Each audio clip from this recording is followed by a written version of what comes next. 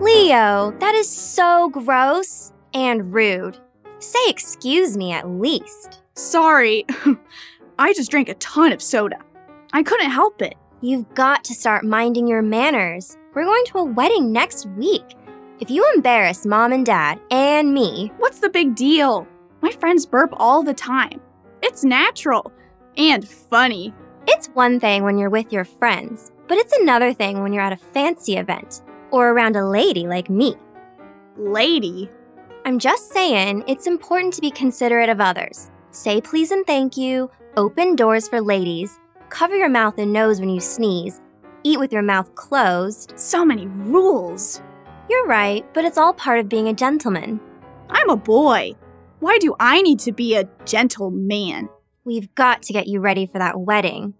How about a lesson on manners? Here we go. Whoa, this place is fancy. And look at our fancy clothes. Where are we? My phone says we're in 1897. It's the Victorian age. I was just reading about this. We're in London, in the empire where the sun never sets. What are you talking about? In this time, the British Empire has so many colonies around the world that it's always daytime somewhere that Great Britain controls. Are you there? Cease with your shenanigans. Sh- Shanana. And remember, when you greet Her Majesty, you curtsy and you bow. The Queen will then extend her hand, which you will kiss. Keep your face directed at Her Majesty at all times. Never turn your back to her.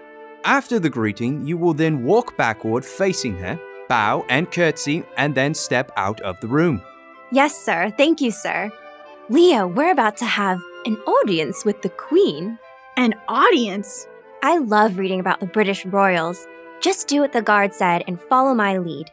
Your Majesty, I present Sir Leo and Lady Layla from America.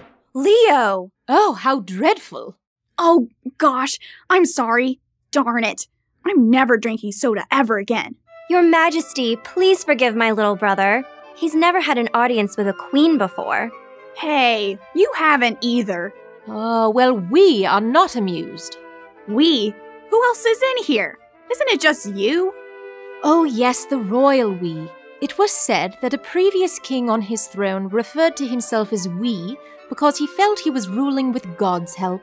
It has become a tradition for kings and queens to refer to themselves as such. Hmm, that doesn't make a lot of sense, but okay. Leo, you can't tell the queen that she doesn't make any sense. Oh, it's quite all right. There are lots of things that might not make that much sense, but here in Great Britain there are traditions and customs that we like to follow. And we have to mind our manners when others are present. See, that's what I've been telling you. Your Majesty, our cousin is getting married soon, and I want Leo to be a gentleman at the wedding.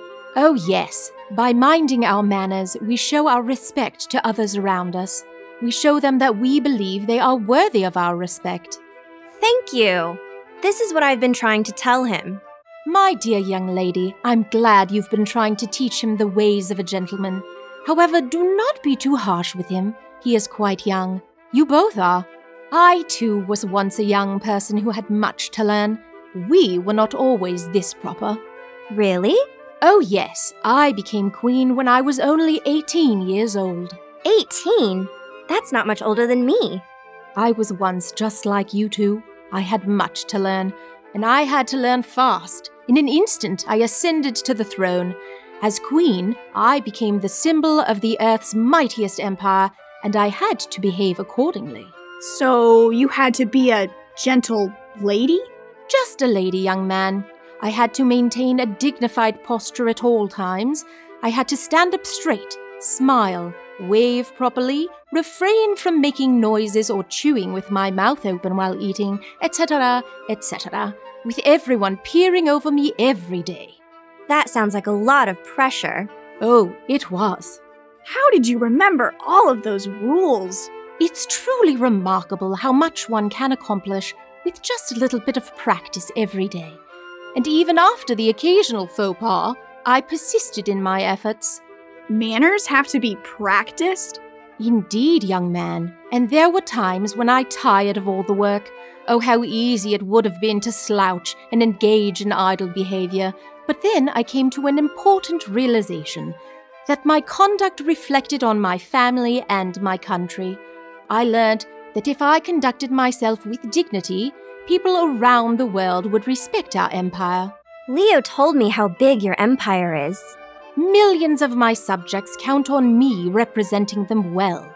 Tis true that you do not represent an entire empire as I do, but you do represent a family and country of your own. That makes a lot of sense. I want to represent my family and my country well, too. Well, I think we've learned a lot today. Thank you, Your Majesty. Yes, we I'm going to be a gentleman. Did I do it right? The royal we thing? No. Thank you for your time today, Your Majesty. It's been an honor to meet you. Oh, it's been my pleasure.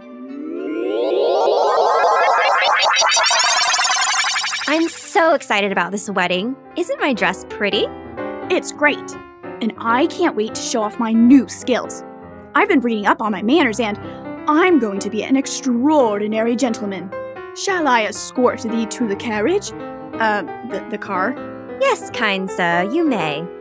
Thank you, Leo. You're such a gentleman. You're gonna make such a good impression. Oops.